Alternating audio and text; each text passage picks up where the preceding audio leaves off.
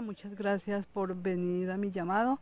Eh, pues comentarle que en estos momentos eh, pues se nos presenta una inconsistencia con respecto al mejoramiento de la vía. Nosotros cuando eh, se construyó esta urbanización, las casas quedaron 46 centímetros más altas que la calle.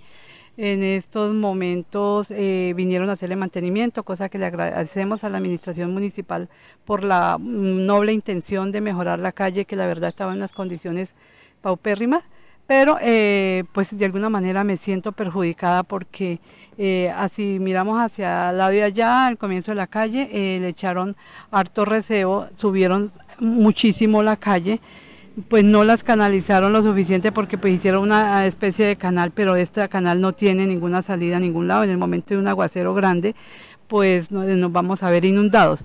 Y si miramos acá para el lado de, de esta, de mi casa, eh, pues nos damos de cuenta de que yo quedé supremamente enterrada. Nosotros con hace un tiempo como venimos remodelando la casa, hemos sacado todos los desperdicios y todos los escombros que había y teníamos eh, el acceso eh, habitado o listo para entrar. Por aquí era que entraban todos los vecinos porque la verdad toda la vida hemos sufrido por la estabilidad de la calle, muy blandito el terreno y con el aguacero pues se acumula agua y se volvían unos lodazales terribles donde nos caíamos, donde perdíamos celulares, perdíamos papelería, perdíamos todo lo que hubiese por la, la entrada que era muy complicada. Al mejorar la vía pues ya estas condiciones habían, se habían mejorado, pero en estos momentos ya resulta de que estamos eh, nuevamente, dejaron un hueco ah, en la entrada y ya nos están pues perjudicando. Estos dos, tres días no ha llovido, pues no hay ningún problema, pero somos conscientes que en el más leve momento que llegue a llover, como sabe llover aquí en San José del Guaviare, pues el aguacero va a ser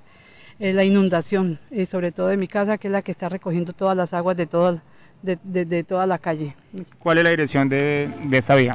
Estamos entre la calle 25 y la calle 26 sobre la carrera 26.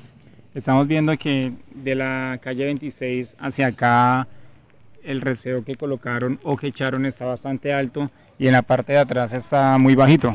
Sí, eh, pues ellos lo que hicieron, la solución al problema fue traer reseo y traer reseo, pero pues no le hicieron como el mantenimiento a la vía, no limpiaron los, escombros, los barrial que había ni nada, sino que trajeron receo y taparon a punta de receo. Entonces subieron el nivel de la calle y en estos momentos ya las casas están quedando eh, bajitas en comparación con el nivel de la calle. Cuando se construyó esto estábamos 46 centímetros, nosotros más altos que la calle.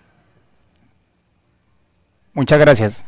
Muchas gracias a usted Juan Carlos y a Marandúa por permitirnos estos micrófonos para exponer nuestras necesidades.